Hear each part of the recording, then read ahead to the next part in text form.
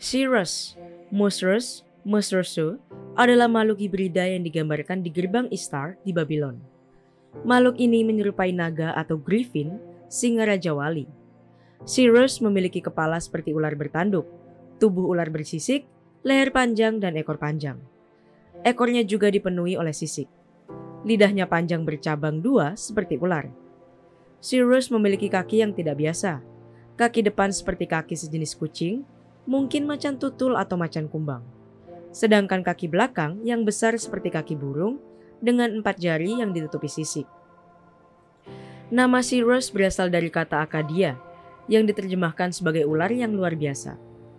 Para peneliti awal kemungkinan besar salah membaca nama dan sejak itu Cirrus telah digunakan sebagai nama paling umum untuk makhluk ini.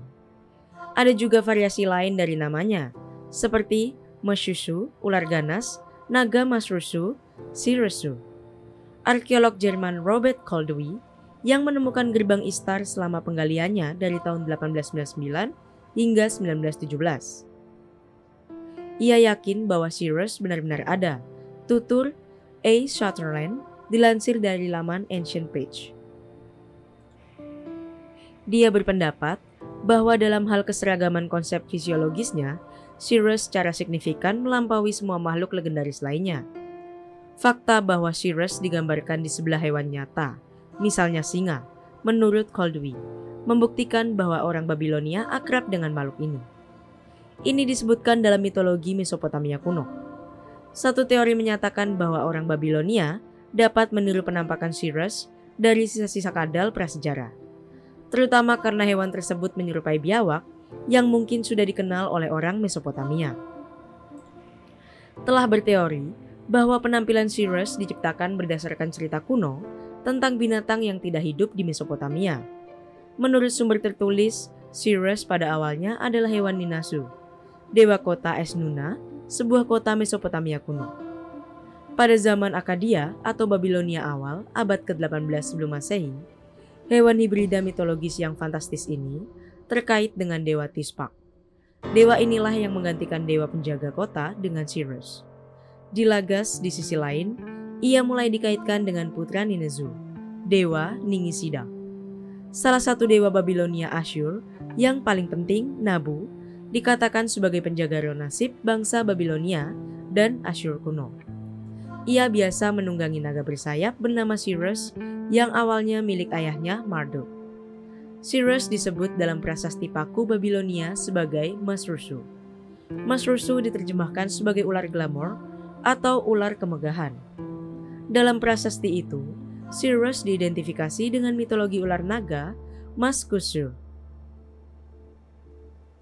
Identifikasi ini secara signifikan dimungkinkan berkat teks-teks dari prasasti Raja Nebukadnezar kedua. Pendapat tentang keberadaan Sirius. Adrian Mayer, seorang ahli sejarah berpendapat bahwa peradaban kuno sering kali sangat berhati-hati dalam menggali, mengangkut, dan merakit kembali fosil. Bisa jadi mereka menemukan fosil dan merekonstruksi sisa-sisa sauropoda Babilonia. Dari rekonstruksi itu muncullah Sirius, Griffin, dan makhluk mitologi lainnya. Namun, Willie Lee, seorang penulis sains mengungkapkan bahwa pada akhir 1950-an, tidak ada lapisan fosil yang diketahui di sekitar Mesopotamia. Yang lain telah mencatat kemiripan dengan biawak, berspekulasi bahwa Babilonia mungkin telah melihat atau menangkap biawak. Teks-teks ini dikhususkan untuk pekerjaan konstruksi di Babilonia yang dilakukan oleh penguasa besar Babilonia kuno dan penakluk Yehuda. Seiring waktu, Cyrus dipindahkan ke Asyur dan dikaitkan dengan dewa negara bagian Asyur, setara dengan Enlil. Menurut Lee, Sirius mungkin diciptakan dari binatang yang pernah didengar orang Babilonia, tetapi tidak hidup di Mesopotamia. Mengapa ia bisa berpendapat demikian? Menurutnya, batu bata dari jenis yang sama dengan yang ada di gerbang Istar telah ditemukan di sekitar Afrika. Ini berarti orang Babilonia mendengar atau melihat binatang itu di tempat lain di Afrika. Jadi, apakah Sirius benar-benar nyata atau hanya imajinasi yang didasarkan dari kadal prasejarah?